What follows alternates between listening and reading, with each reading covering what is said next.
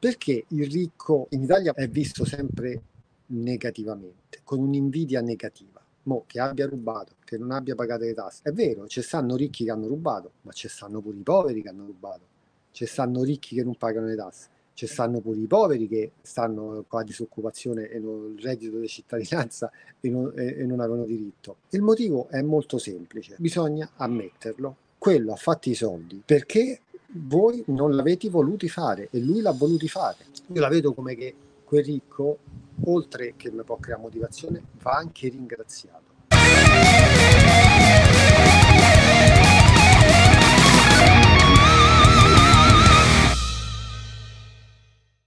Eccoci in diretta, Mindset Monday numero 4, quarta puntata su quella che è la mia esperienza, su quello che sono stati i miei pensieri e secondo me sono la base del motivo per quale sono riuscito, grazie alla crescita personale e al mindset, a ottenere la libertà finanziaria. Parliamo di obiettivi, quindi libertà finanziaria da chi l'ha ottenuta libertà finanziaria, perché in giro insomma se ne vedono di tutti i colori.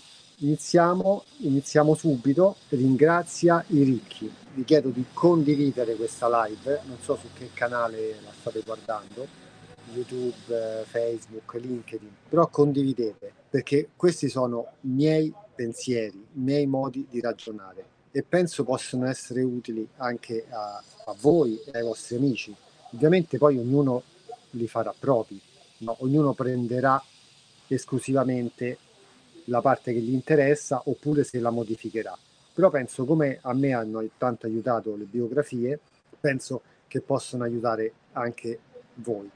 E questo è il motivo per cui nasce Mindset Monday, che mi chiedate sempre, fai video sul mindset, fai corsi sul mindset. Non faccio corsi sul mindset, faccio dei video dove racconto il mindset, cioè i miei ragionamenti su determinate situazioni.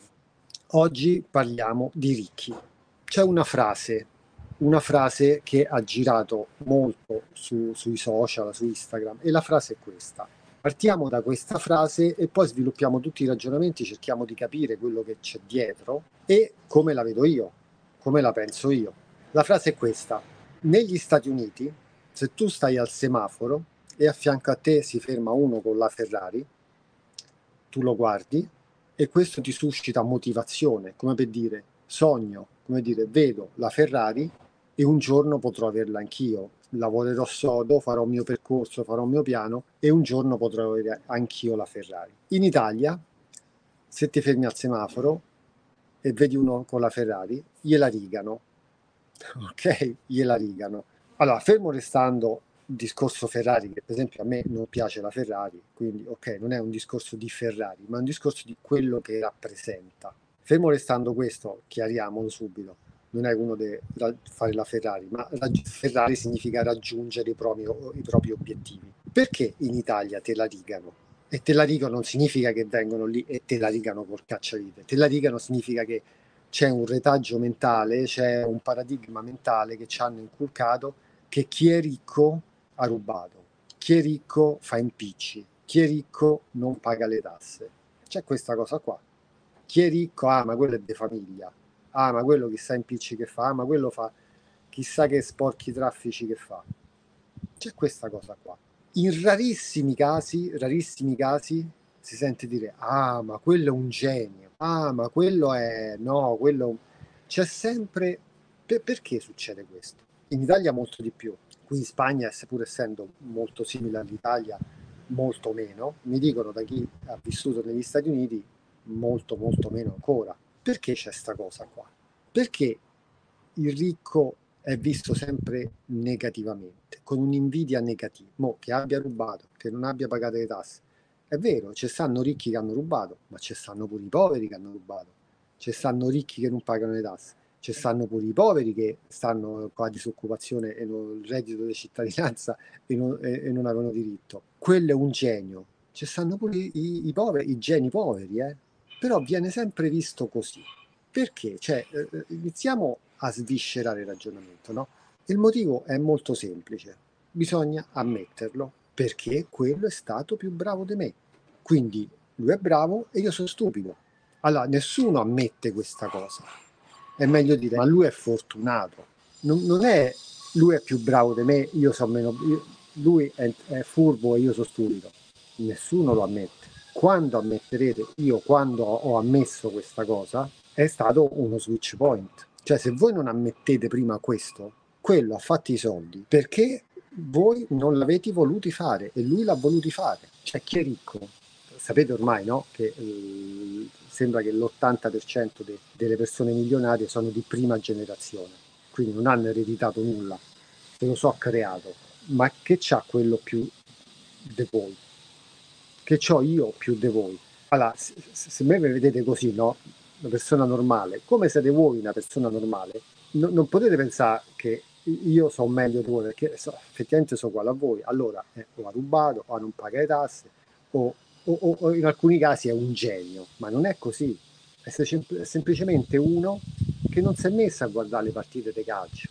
Magari si è studiato qualcosa, non si è messo a guardare Netflix a ammazzarsi le serie tv, magari ha studiato qualche libro, non si è messo a giocare alla PlayStation, magari ha investito quel tempo su se stesso.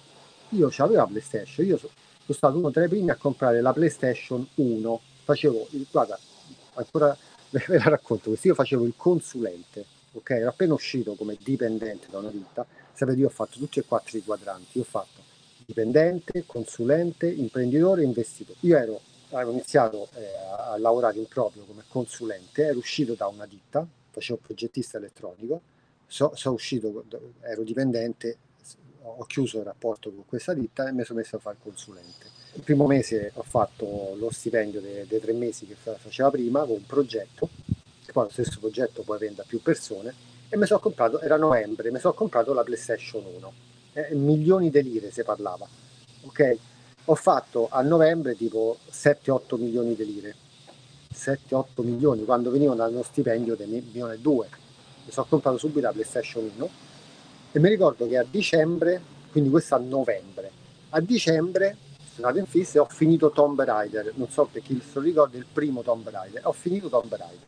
Incassi a dicembre 400 mila lire, che mi fregava, ho fatto 7 milioni prima. A gennaio ho finito Resident Evil, il primo, incassi 700 mila lire. A febbraio ho venduto la PlayStation questo è, è, è, secondo me è un percorso da fare. Stai in fissa con la PlayStation, ti compri con la PlayStation, ti fai l'esperienza, ma poi quando vedi che questo ti leva il tempo e non guadagni più dall'altra parte, non investi su te stesso, certo se sei dipendente è sempre lo stesso, no? Infatti uno deve staccarsi dipendente e inizia magari a fare il consulente, libero professionista, poi imprenditore, perché ripeto, se sei consulente o sei dipendente puoi arrivare nella vita, io te lo dico chiaro, cioè non puoi mai raggiungere la libertà finanziaria. Ok? Poi se l'obiettivo è avere lo stipendio fisso, avere il tuo orticello, la tua zona di comfort, per carità, ognuno è libero, però poi non ti puoi lamentare a fine mese se non ci arrivi, ti puoi lamentare di questo e non puoi quando vedi uno con la Ferrari di che ruba, è semplicemente uno che è uscito dalla sua zona di comfort. Perché? Io sono proprio la dimostrazione che c'è vita fuori dalla fuori la zona di comfort, ok? Fuori dalla ruota del criceto, c'è vita. E la vita può essere questa qui, una vita fatta libero geograficamente, economicamente. E basta poco, eh? Guarda, io ho l'orto là, ok? Ho l'orto, ora mettiamo pure i pannelli solari. Figurate che spe- so, alle Canarie dove la vita costa un po' meno dell'Italia, le tasse sono un po' meno dell'Italia, non è che servono tutte queste cifre, eh? voglio dire, è una questione mentale mentale. Per questo io insisto sempre sui ragionamenti. Passa quello con la Ferrari, o, o, Ferrari inteso come obiettivo, ok, raggiunto, ti crea un vi- invidia, perfetto, va benissimo, ci sta, perché l'invidia è energia. Adesso devi trasformare quell'energia in cose positive che puoi fare te per raggiungere i tuoi obiettivi. Non devi parlare di lui, devi parlare di te, non devi parlare a ah, quello, a quello, a quello ha fatto, a quella rubata, a quello, a no, No, di parlare di te. Perché io non so così? Perché sono stato stupido finora? Perché non ho raggiunto i miei obiettivi finora? Cioè, ma, ma che vi vergognate a dire che siete stati stupidi? Cioè, se, uno, se, se sono due persone uguali, uno raggiunge la libertà finanziaria e uno no, fermo restando che, che l'altro vuole raggiungerla, c'è poco da fare. Uno non, non, non, si è applicato, se ne è fregato, si è visto Netflix, se, cioè, Netflix inteso come si è trastullato, bisogna ammetterlo. Io un periodo, un, un 2017 mi, sono guardato allo specchio dopo aver visto quello che succedeva intorno al mondo a me, perché è facile, non ci credo, no? Ah, quello ha, ha, guadagnato onestamente, adesso c'è la Ferrari, non ci credo che ha guadagnato onestamente. Continua a non crederci, continua a rimanere nel tuo piccolo orticello provinciale, molto italiana questa cosa. Bisogna uscire e andare a vedere, fare un piano, ovviamente, ma farlo Ciao Francesca, ti ascolto sempre volentieri e concordo che ci sia un forte problema in Italia con i soldi, un bias che ci compromette fortemente. Esatto, dovete spezzarla sta cosa qua, dovete spezzarla. Infatti, perché tutti vanno a viva all'estero? Cioè chi vuole emergere va a viva all'estero. Perché? Per questo motivo, proprio per, per uscire da un ambiente depotenziante e Roma, sotto molti punti di vista, è depotenziante. Io vengo da Roma, parlo di Roma. Perché? Perché stai sempre incazzato per il traffico, tutti nervosi, c'è un'aria pesante, non, non, si respira, cioè l'ossigeno manca proprio, nelle grandi città manca l'ossigeno, ok? Cioè l'ossigeno è la cosa più importante, eh? nelle grandi città manca l'ossigeno e noi viviamo nelle grandi città, perché? Perché c'è il lavoro, va bene, il lavoro serve all'inizio, ma poi tocca fare un piano per fare il passo successivo, se no rimaniamo schiacciati da quella situazione. Io avevo gastrite, eh, diverticoli, sindrome del colon irritabile, tutto, sono andato via da Roma, non ho avuto più niente. Eppure ho fatto gastroscopia e coloscopia, c'era scritto, eh?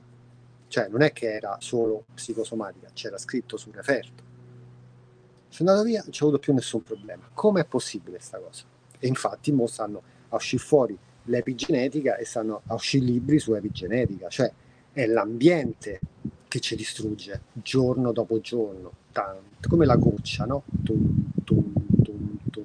Aria inquinata, aria inquinata, aria inquinata, aria inquinata. Quello dopo un mese non ti fa niente, dopo un anno non ti fa niente, dopo dieci anni, dopo vent'anni, ammazza, dopo trenta, cioè, sei sopravvissuto.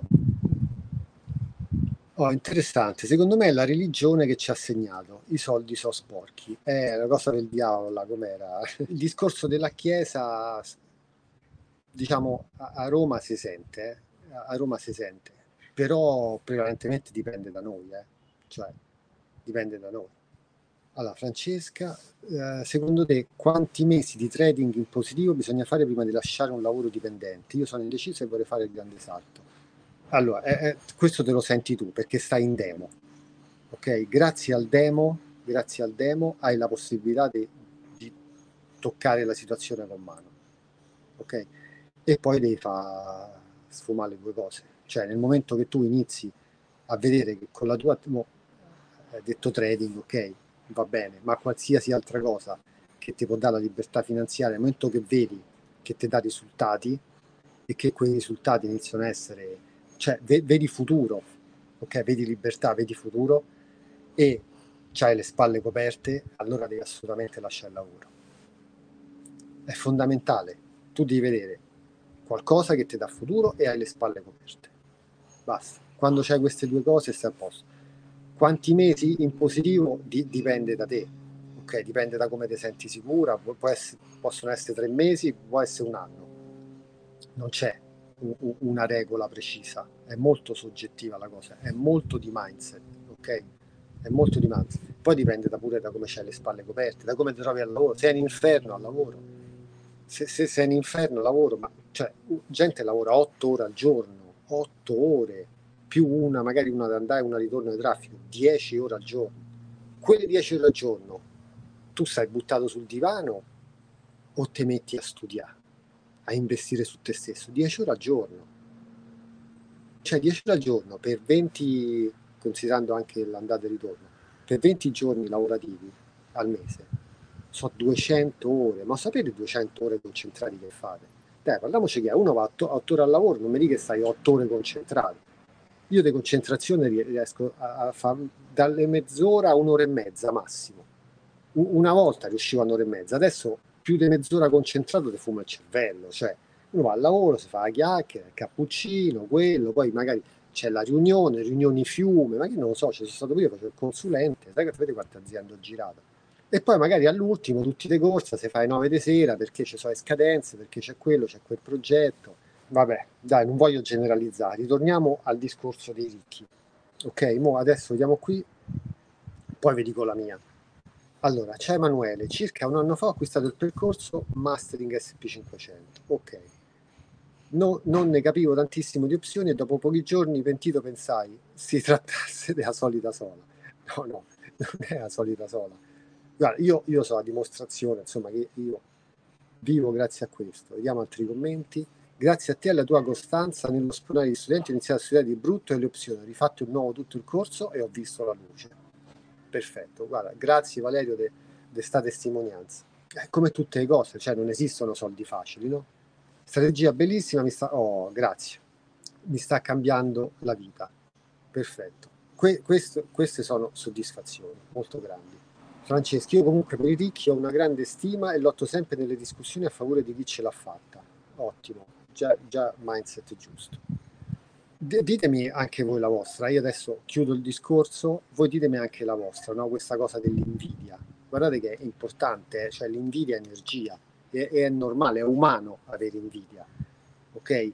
E quell'invidia va trasformata in cazzo, ce la faccio pure io, ok? La, la cazzim, quella che, che si dice a Napoli, no? È la motivazione, sarebbe. Io invece la vedo sotto addirittura un altro punto di vista io la vedo come che quel ricco, oltre che mi può creare motivazione, va anche ringraziato. Perché? Senza tornare al discorso ormai comune de, che il ricco crea posti di lavoro, perché non è detto che vuole creare posti di lavoro, no? Magari non vuole fare impresa, o no, non, non, è questo.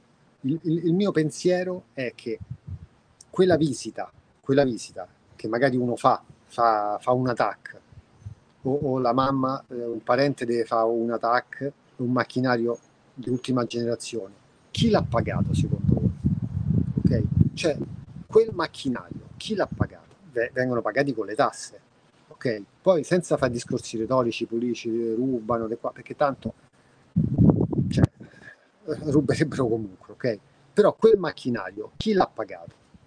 Quindi, se vai in ospedale e ti fai un'operazione all'occhio con laser, se ti fai qualche cosa, quella struttura, quell'apparato hanno pagato le tasse di un ricco. Il parco giochi, a Roma è, è, è, è, raro trovare un parco giochi sistemato, qui ai Canarie ci stanno. Quel parco giochi, chi l'ha pagato? Pensate che il parco giochi dove, dove giocano i vostri figli eh, l'hanno pagato 500 euro al mese di tasse che pagate voi? Oppure le 10.000 euro al mese, le 20.000 euro al mese di tasse che paga un ricco. Poi c'è un discorso dei servizi, no? dove uno paga le tasse però c'ha dei servizi. In Italia c'è pure questa cosa che l'ha detto pure il ministro, il ministro ha detto insomma che, che vengono pagate troppe tasse rispetto ai servizi che si ottengono. Ok? Quindi quello è un problema, ma a prescindere da quello, perché poi questo uno va, è facile sdeviare il discorso. Però il punto è questo, cioè che è proprio cioè, le strade, i servizi, quei pochi che sono, l'hanno pagati prevalentemente i ricchi con le loro tasse.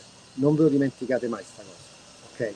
Non va dimenticare. Io questa cosa l'ho sempre pensata e adesso inizio a toccare con mano, perché con tutte le tasse che ho pagato qui, penso che quando costruiscono un parco giochi me devono di grazie pure a me, sicuramente non a quello che guadagna 1500 euro al mese e ha pagato 400 euro di tasse. È chiara questa cosa. Però qual è la differenza? Che io mi sono fatto il culo per arrivare qua, che io ho studiato e lui no. E lui sta lì, alle 5 gli casca la penna e ha finito. Quindi vedete che torniamo al discorso di una scelta. Se voi state lavorando e alle 5 vi casca la penna, allora perché sei povero? Perché alle 5 ti casca la penna. Iniziate a costruire un'attività parallela iniziare a, a, a investire qualche sabato e domenica su te stesso. Gli altri ce l'hanno fatta, la puoi fare pure te. Esiste un mondo fuori la cosa del criceto. Esiste un mondo fatto di libertà finanziaria? Esiste, ve lo garantisco, esiste. Ok? Bisogna solo impegnarsi. È facile? No. Qualsiasi attività diventi ricco domani? No. Ti devi impegnare ci metti un anno? Ci metti due anni? Ci metti tre anni? Boh, esageriamo, tre anni. Ma tre anni fa dove stavi? Adesso guadagni 2000 euro al mese, tre anni fa ne guadagnavi 1800. E poi si vedono scene di gente che si arrabbia perché un panino costa 8 euro, perché lo stabilimento là, due lettini, costa 60 euro, 80 euro, non so più. Io vi ho detto la mia. Mo dite la vostra, speriamo insomma che questi ragionamenti siano utili.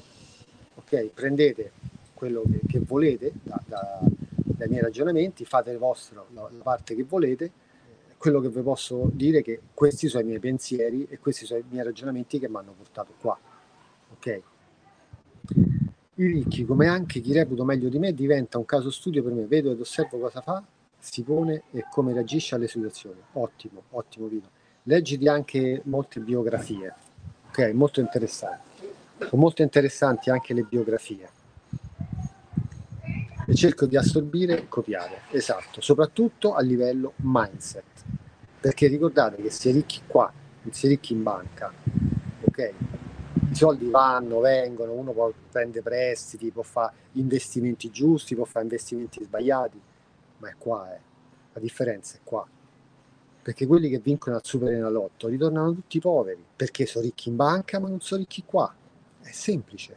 È semplice il ragionamento. Se voi siete ricchi qua, non c'è problema. Infatti, molti dicono: Ah, ma il capitale. Non è un problema il capitale, è solo nella vostra testa un problema il capitale. Cioè, tutte le start-up sono partite senza una lira. Quindi il problema del capitale sta nella vostra testa. Non è un problema dei soldi, è un problema di capoccia. Ok? Così sto più chiaro. Perché con la capoccia giusta uno fa un piano e i soldi li trova per raggiungere gli obiettivi.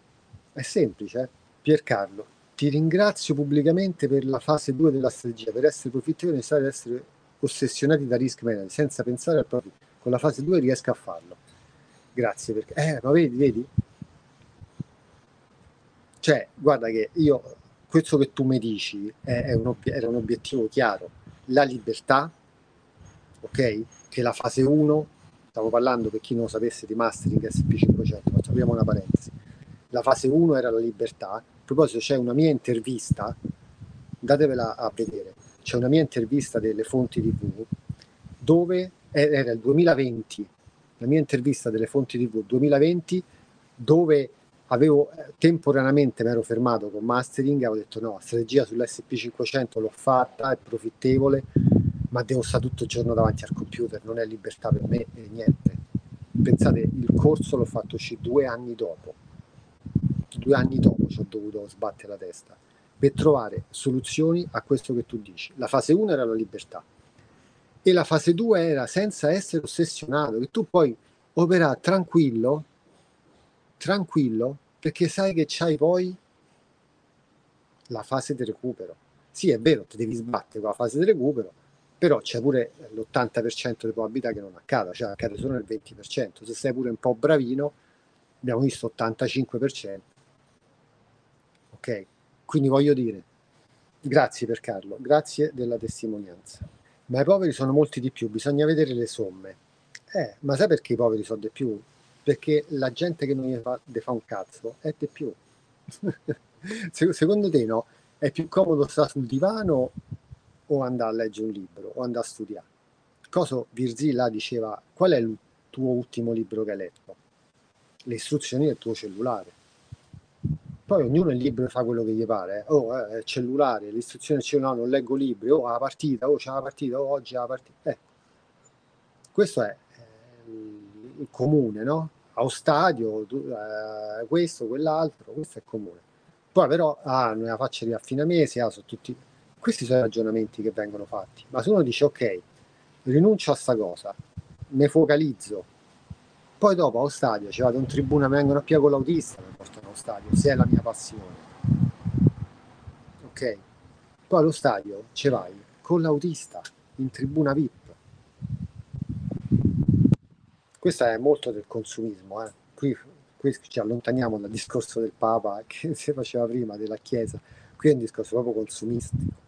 Tutto subito, debiti, e poi non, non ne esci più magari uno si impegna e poi dopo, visto che lo stadio, la partita è la tua passione, ci va in tribuna VIP. Piercarlo, la fase 2 è il vero game changer. Concordo. E non abbiamo finito, eh. Io continuo a sperimentare fino a fine anno. Io continuo. continuo a sperimentare fine anno e abbiamo grandi novità che presenteremo al webinar del 19 settembre e continueremo fino a fine anno a sperimentare.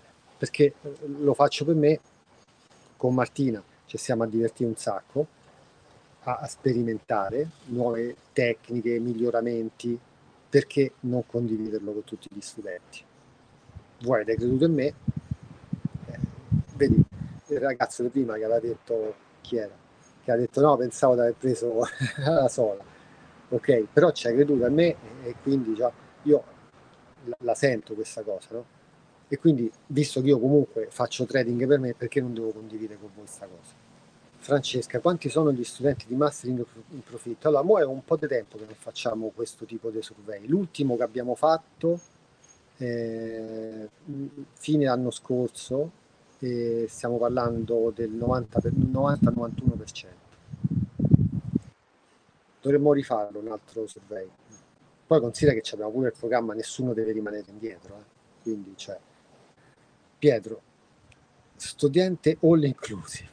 Il concetto dell'ambiente dei potenzianti è molto attuale. Grazie per i libri, ma il migliore rimane il Miracle Morning. I tuoi corsi li ho fatti prima delle ore 8. Eh, vedi, Ottimo Pietro. Per esempio a, a, me io non amo Miracle Morning, ok? Io mi alzo presto, ma perché arrivata a una certa età, quando sono le 7, ti sveglio, cioè non dormo più tante ore. Vado a letto a mezzanotte, alle 7 mi sveglio, vado a letto alle 11, alle 6 e mezza mi sveglio, ok? Eh, però non so amante di ok metto la sveglia alle 5 ok già mi sveglio di mio ok eh, però ecco i libri leggetene perché uno poi trova il libro che fa per lui.